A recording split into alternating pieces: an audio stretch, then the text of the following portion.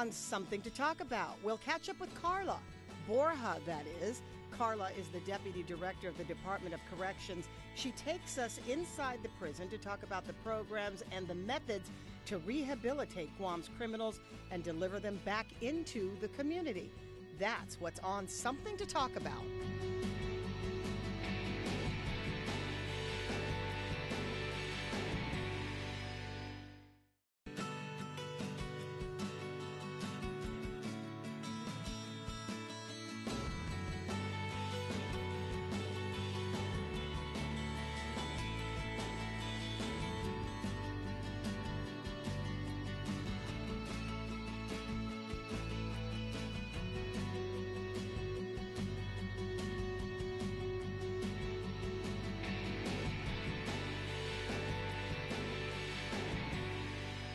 You for joining us today at King's for something to talk about. Carla Borja is with us today, and we are really excited to have you here because I, I, the few times that I have ever spoken to you, you're like one of those multitaskers.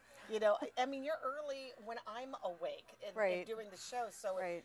there are very few uh, Gov Guam, uh, you know, supervisors or seniors that you can actually contact that early in the morning. So At I six in the that. morning? At six in the morning. Yes. Uh, but uh, Carla is the deputy director over the Department of Corrections. A lot of great things that have been happening in the past year Yes. uh, with DOC. Um, and a lot of things that, that that is right up your alley, I think. Yeah. Yes, yes. The, the, first of all, we're gonna. It's a sort of a get to know Carla, because you're leading an agency that has seen a lot of problems in the past couple of decades, which is very difficult to oversee. Right. But clearly, your expertise coming in sort of late to this eh, to this party in this in this process of where DOC is now progressed almost to the, the, the, the almost to the point where it feels like this is almost over. Right, right. And it's kind of it's kind of like uh, I guess coming home like a full circle of where I've been Yeah. in my uh, professional career. So Well, uh, you know, I, I was saying to somebody who was calling on the radio uh, that you came from Senator Brant McCreadie's office. Yes, I did. But it's more than just coming from Senator Brant McCreadie's office because they can't put somebody like you in a position like that if you don't know what your business is. Yeah. Right, that's Yeah. correct. So I've- tell me, tell, go ahead. Oh, Okay. sorry. So yes, I've uh, I started my career in law enforcement. So I got my bachelor's degree at the University of Guam in criminal justice, and then I went on to get my master's degree at Chaminade University in criminal justice administration. And my emphasis in my thesis study was on uh, criminal justice administration, with the emphasis on prison administration and rehabilitation. Oh, so this is something that you had already been schooled to do. Yes. Wow. yes. What what made you get into that specialty?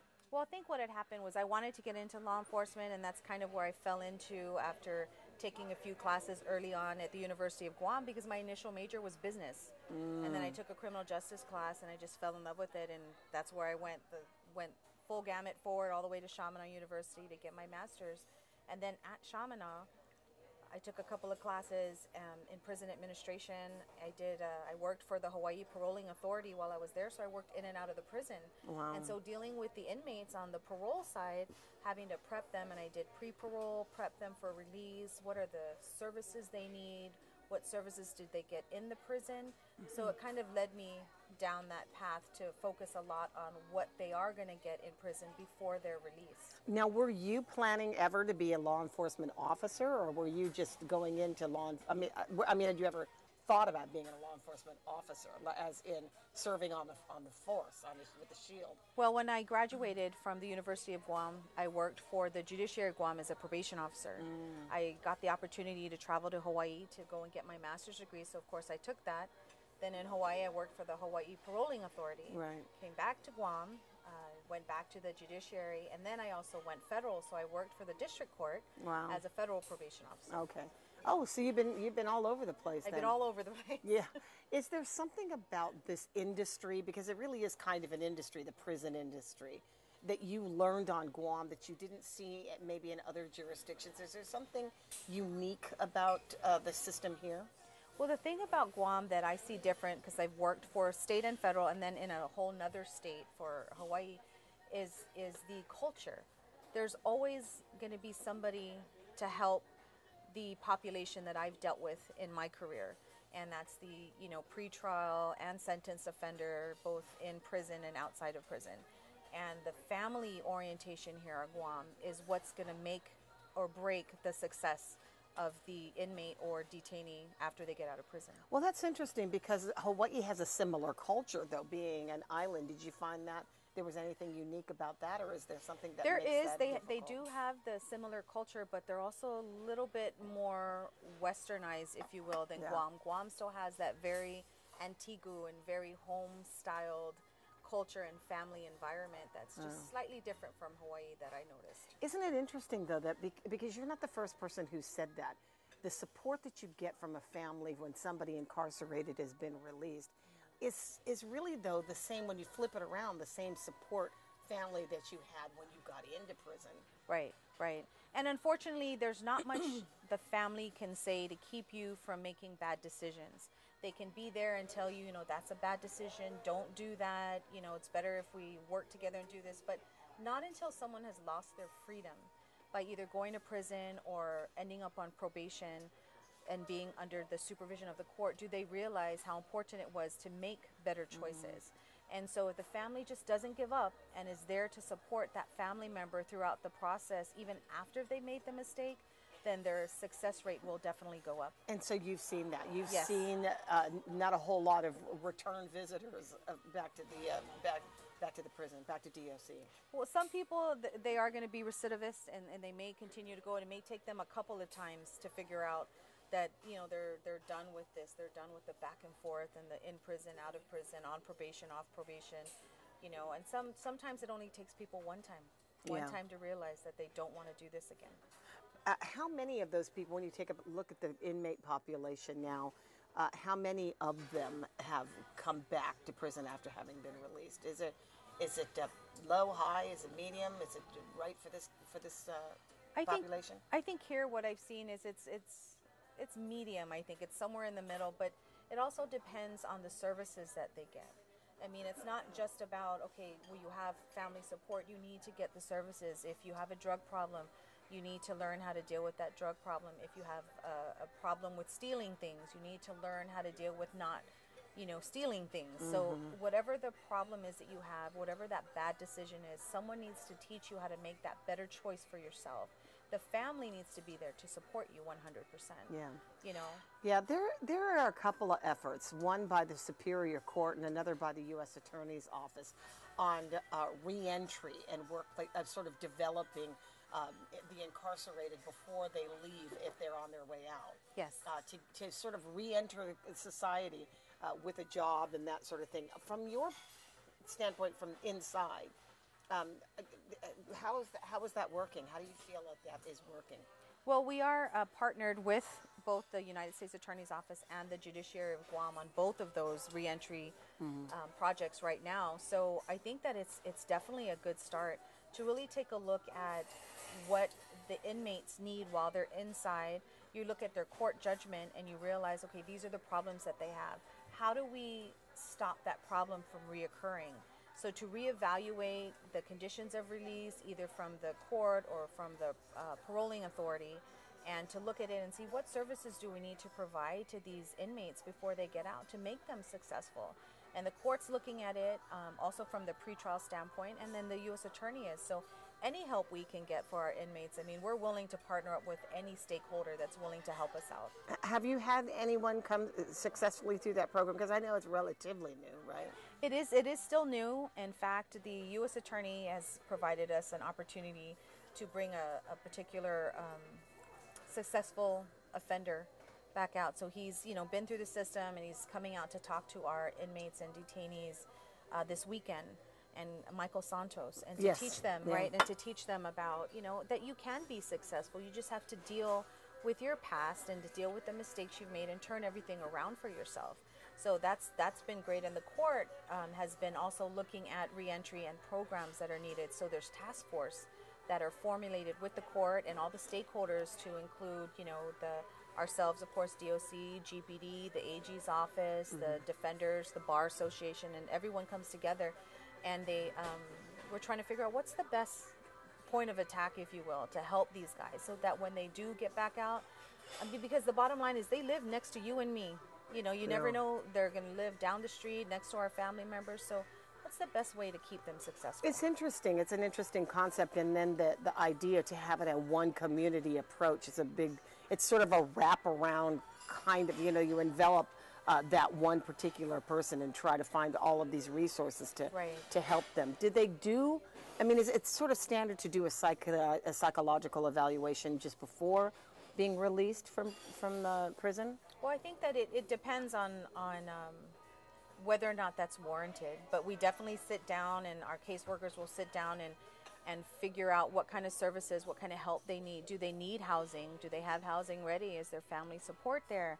Um, one thing we're looking at is how to get them identification when they get out. You know, that's if you don't have IDs, you can't you know go anywhere and say, oh, this is me, and I'm going to apply for this job. And and then what jobs are willing to take people that have been um, convicted of offenses? Where Yeah. can we send them to? Who's willing to give them a second chance? Do you do you get that that brand, or has it ever happened that in, under your watch? Will you'll have an inmate who has had maybe a career in crime and has been incarcerated for a great part of his life or her life, and is very reluctant to get back into the community because they feel like they're going to fail.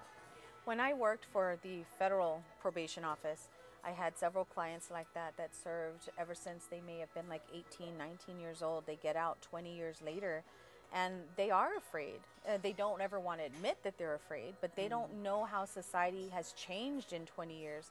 So they get out there and it's difficult for them. It's difficult for them to adapt to the changes that have happened while they've been incarcerated for 20 years. Um, I know a story of a, of a client that I had as well when I was in the federal system that he didn't know how to acclimate socially. Like, how do you interact with people? He didn't know because he was so institutionalized. He's so used to people telling him what to do and what time to do it. So mm. now he's just there waiting and he doesn't understand how to do things on his own. So it becomes very stressful. But there's also lifestyle sort of training that goes along with this program, right? To get to, to, to when prisoners are released. right we try to you know teach them especially those that have been incarcerated for long periods of time you try to teach them you know how to do things and you know make sure that they they understand to come back you they got to come back to the parole or the probation officer and ask for the help you That's all gotta- part of the release uh, Absolutely. conditions. Uh, we're talking with Carla Borja. She's the director, deputy director of the Department of Corrections. Uh, when we come back, I wanted to try to understand the strategy of the Department of Corrections in rehabilitating uh, those who are incarcerated. It's so much different than what we see in those documentaries that they see Yes. in, in, in state prisons where you you think, boy, does that actually does it even happen on Guam or in the inside of the Department of Corrections? We'll be right back. Ooh, nice. Good, girl.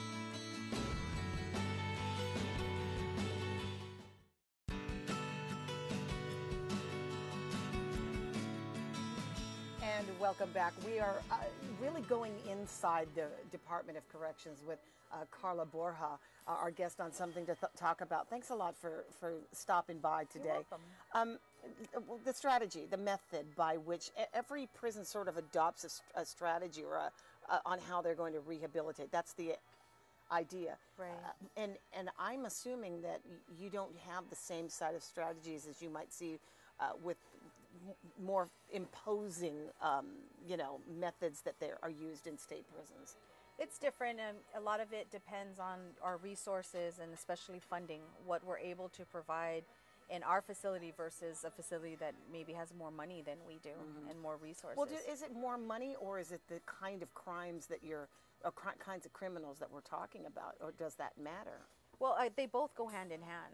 So whatever it is that we need to provide, whatever services we need to provide, we need to find a way to get that service and you know everything costs money Yeah. so we figure out like who we need to contract who we need to hire what kind of classes our caseworker uh, or our forensics unit need to provide to the majority of our inmate population to give them the services and the rehabilitative efforts and treatment that they need before they get back out So is that the strategy? Are you trying to is and do you have a I mean you have an option on which method that you want to use. Right. It's not a really heavily armed prison. right Corrections officers aren't walking around with billy clubs and and um, you know heavy armory uh, at all. This is a sort of more relaxed, if you will. I you know what I mean, as relaxed as prisons can be. if you were looking at it from you know from our view, we watch these documentaries. Right, I've, right. You know, I don't have a lot of I don't have a lot of experience, thank God.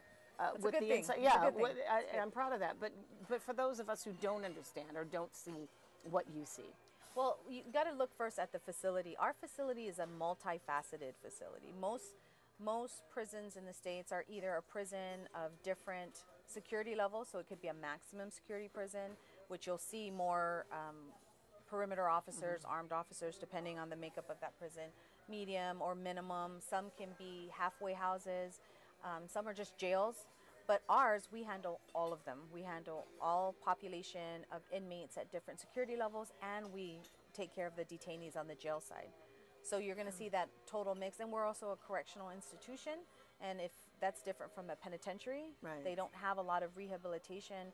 Um, our goal is to build up our rehabilitation programs that have so that's the difference. Yeah, Correctional facility has it's the it's the approach to rehabilitation, Correct. as opposed to a penitentiary, penitentiary that does what? They house inmates and they sort of Right. They have certain services, of course, that are, are needed and required, but a penitentiary is different. You're not going to see the freedom.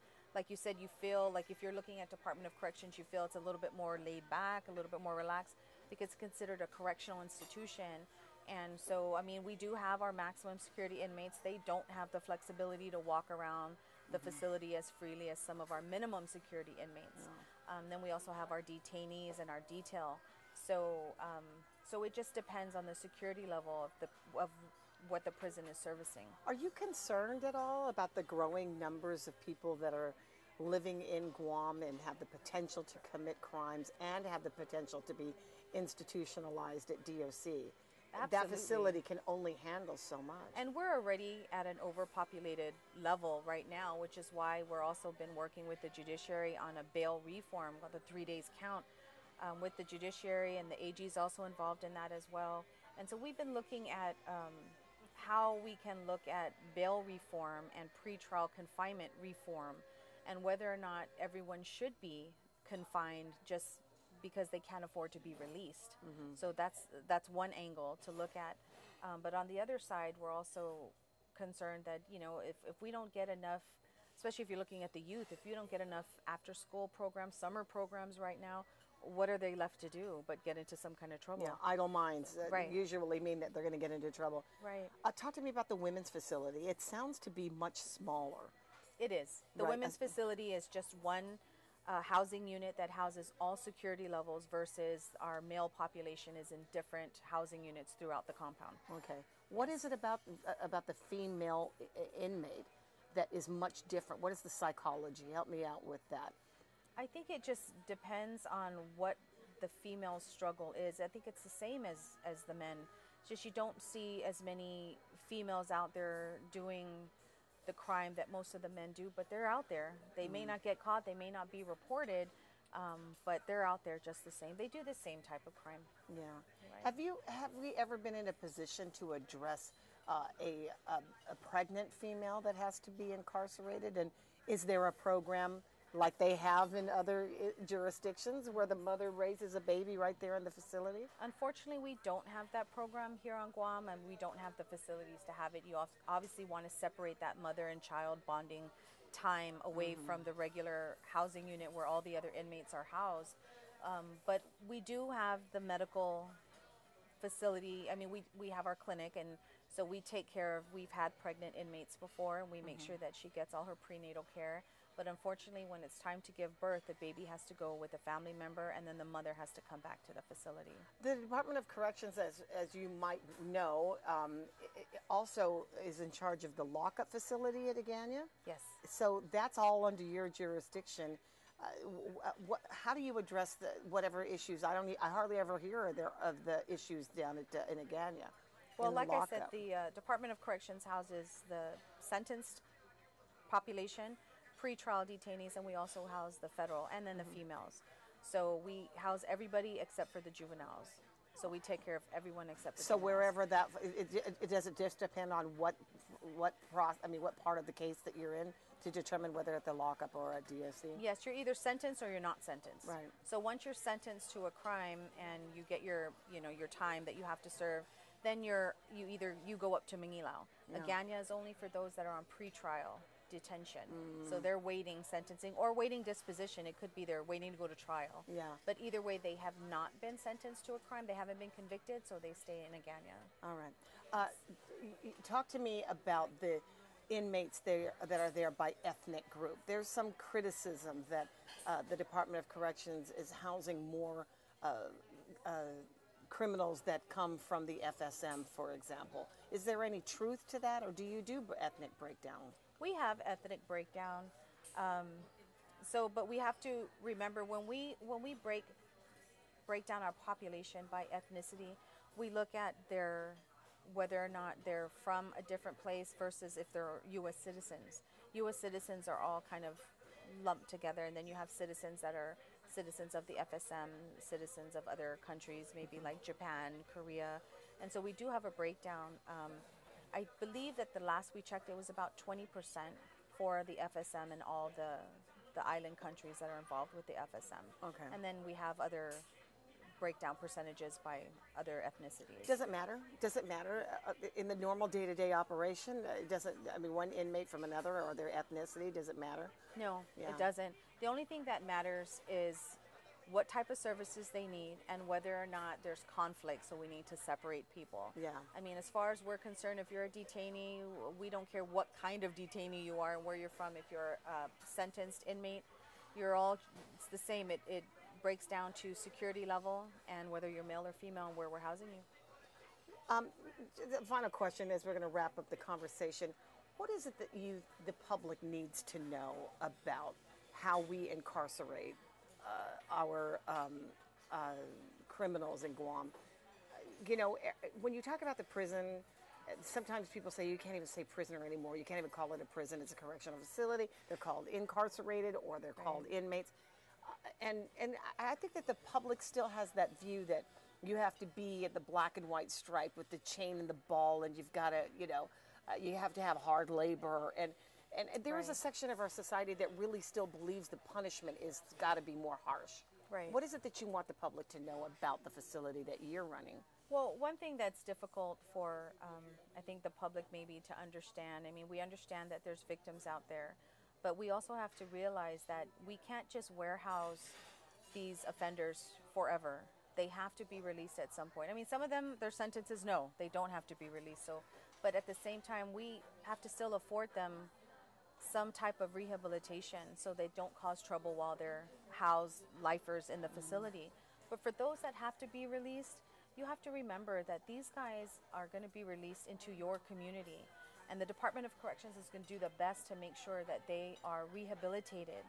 And while they're inside, we also are the ones that are tasked with having to remember that these is, this is somebody's father, mother, mm. sister, brother, child. And so we would like them to be treated the way we want our family members to be treated should they be housed at the Department of Corrections. And I know it's hard sometimes if you don't work in that facility and you Yeah. don't have to work with this population.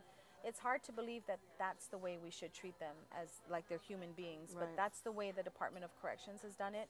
The way I've told my officers at the department is that you are the first point of rehabilitation for every inmate and detainee that comes in here. The way you treat them when they first come into our facility is the way they're probably going to react when they go back out. So if you treat them like, you know, we need to rehabilitate them and, and there's a there's a possibility they can succeed, then mentally they're going to head down that road and They'll probably succeed. be more open to uh, the process. Yes, I appreciate you taking good, the time. you. Thank you so much. You're such welcome. a delightful person to talk to and very Thank knowledgeable. And I appreciate the, the You're time that you've taken. And that is what it looks like from inside the Department of Corrections. Uh, we'll see you on the radio. Thanks for joining us. That was great. That was. Thank you. See you again.